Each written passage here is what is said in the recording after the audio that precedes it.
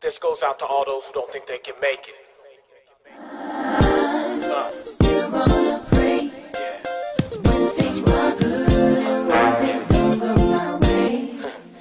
I will be strong no matter what I go through. 'Cause in the end, I know what my God can do.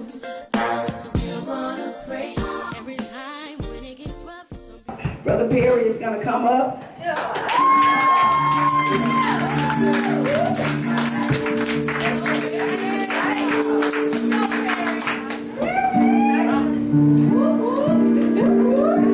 Mm-hmm. This y'all already got. Might as well keep it going.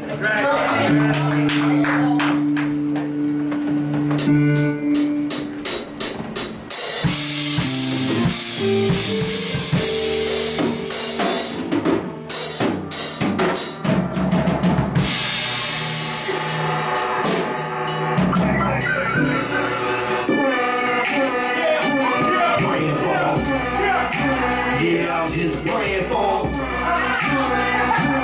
Praying for 'em. If they get the treatment, don't retaliate. Pray for 'em. Praying for 'em. Yeah, I'm just praying for 'em. Praying for 'em. If they get the treatment, don't retaliate. Pray for 'em. God forgive them for they know not what they do. And if I have a problem, I just hand it over to you. Cause it's not enough pain that can me. Something stupid, let it ruin my life and let it haunt me. Being positive what it taught me. Pain and agony in front of the church is where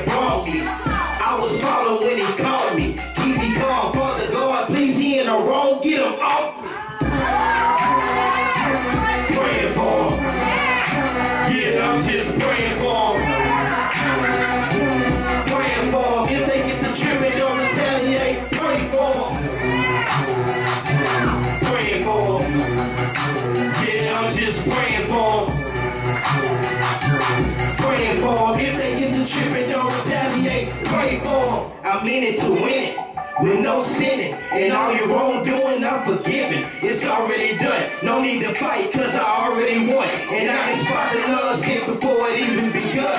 Yeah. different situations separate. Just listen to the message. Refuse every question. Receive all the blessings.